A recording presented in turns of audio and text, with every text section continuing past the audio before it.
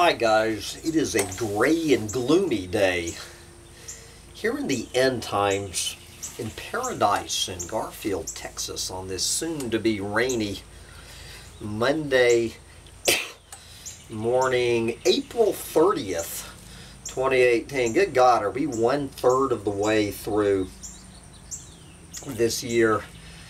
And good God, I am trying to recover from my epic six hour phone call last night with a tribes member over there in Finland who shall remain nameless. The single longest phone call I have ever made in my entire life since the day I was born. Six hours on the phone with a tribes member.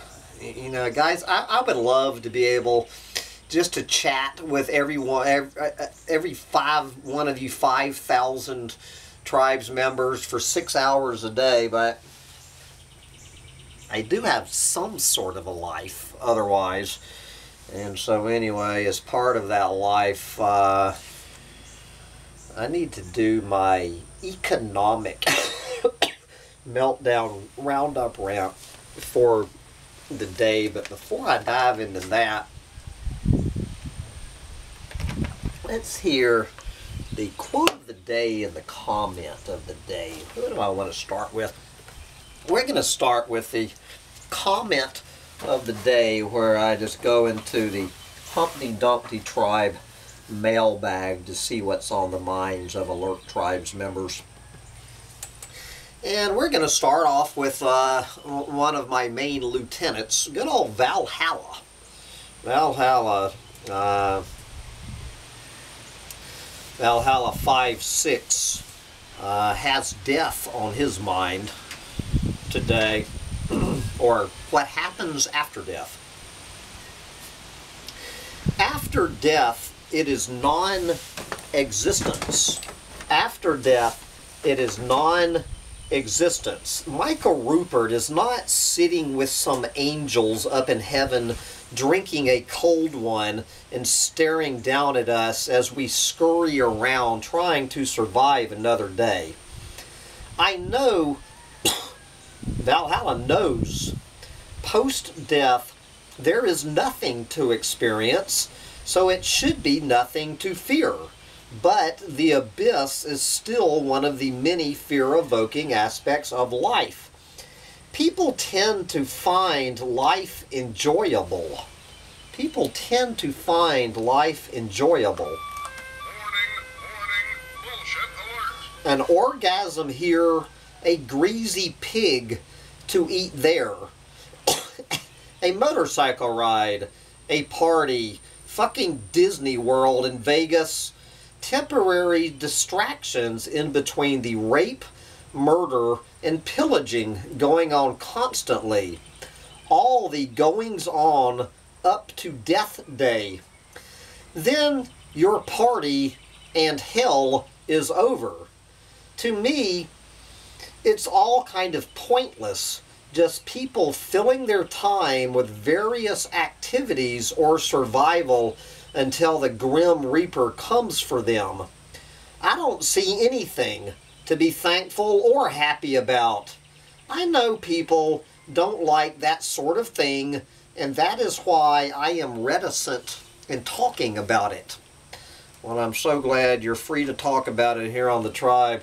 My response to Val non existence after death is probably the only slim hope I have left in my life why anybody would want to, quote, live eternally after death, or especially come back to this shithole for another dose of misery is beyond me. There you go. And Z3RO weighing in. People who want to live eternally have not truly experienced the horrors of life. David Henderson's comment to Val, I am preparing a rope and checking its length after reading your comment. Jesus Christ, I gotta smoke one for fuck's sake. Let's see, what does Scragnog 1 have to say about the whole situation? Screw everything. there you go. Even without the impending man-made disasters, I'm not impressed with life, or rather the way our species has planned our lives. I'm just going to spend what time I have developing meditation and joyful states and wean myself off of materiality eventually and everything will or won't roll from that. Buckle your own seatbelt before helping others. there you go. Uh, let's see, a couple of more. What does Maca Runner have to say about this whole situation? It's referred to as the dominant culture for a reason. It is dominated and will continue to dominate until its death.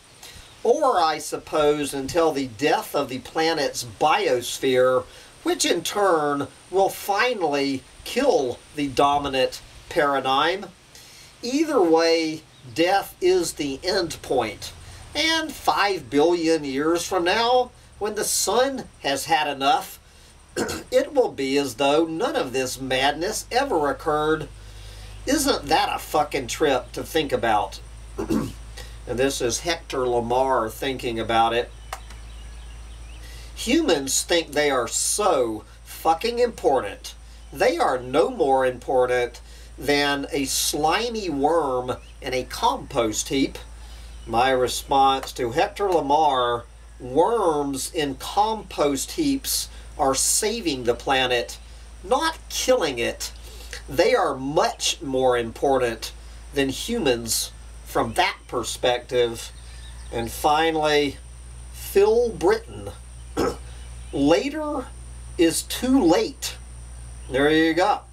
We have been systematically poisoned for profiteering since the Industrial Revolution. Mother Earth is doing payback time. Our experiment is over when humans fuck with the physics of Earth. Earth always wins. We shall see. It will be a photo finish. And anyway, I'm going to wrap up this comment of the day and come back with today's quote of the day, which I've read before, but it always bears repeating. Coming right up. Bye, guys.